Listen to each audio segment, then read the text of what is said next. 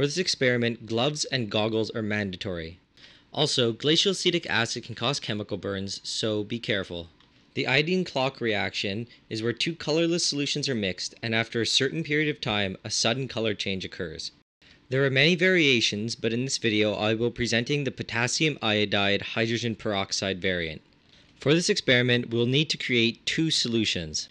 Solution A contains 50 grams of potassium iodide, 4.1 grams of anhydrous sodium acetate, 9.4 grams of sodium thiosulfate pentahydrate, 0.6 grams of soluble starch, and 1 liter of water.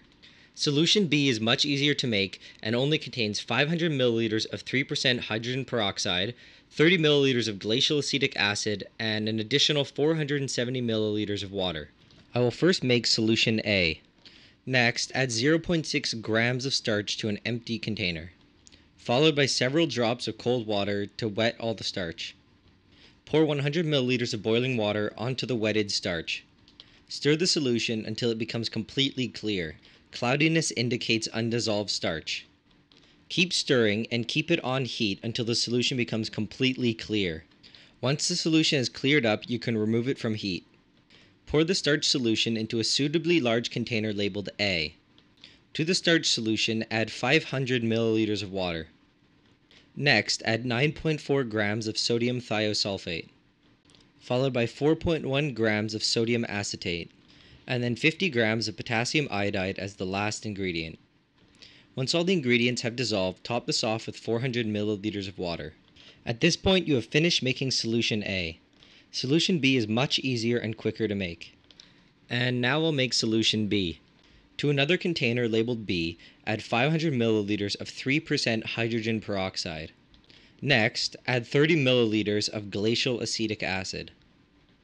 And finally, top this off with 470 milliliters of water.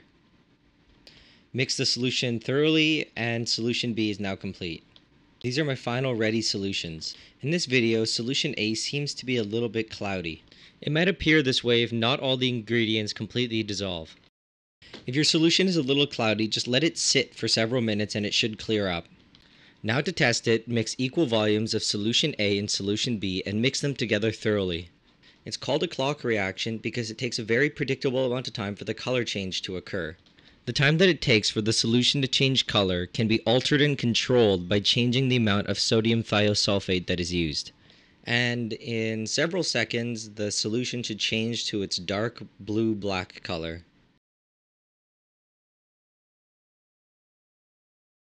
Here, I wanted to see what would happen if I made an effort to mix the two solutions together as little as possible. At this point, I'm going to explain chemically what's going on. This experiment actually involves four different reactions. I'll start with the second one, which is the slowest, and because of this, it is the rate determining step. Aqueous iodide molecules react with hydrogen peroxide to form iodine. As soon as the iodine is formed, it reacts with the thiosulfate ions to regenerate the iodide ion.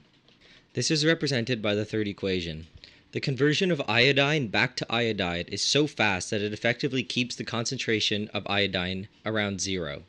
This back and forth conversion between iodine and iodide occurs until the thiosulfate ions are exhausted. At this point, iodine can't be reduced back to iodide and it will start to build up. Now referring to the first equation, iodine will react with iodide to form triiodide. The triiodide then reacts with starch to create the starch pentaiodide complex, which has a characteristic blue-black color. You can see that by changing the amount of sodium thiosulfate that we use, we can change how long the iodine bounces back and forth with the iodide, and therefore we can control how long it takes for the color to change.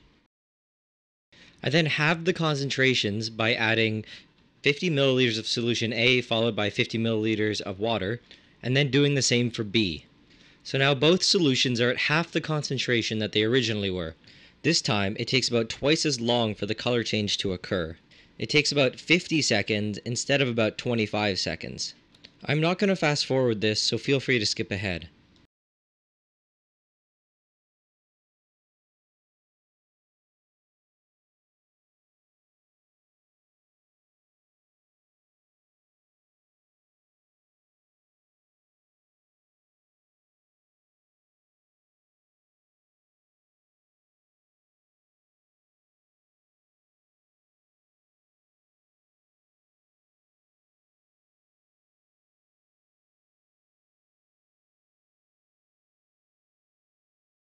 One funny idea might be to mess with people by carrying out the reaction in a water bottle and pretending that it's water.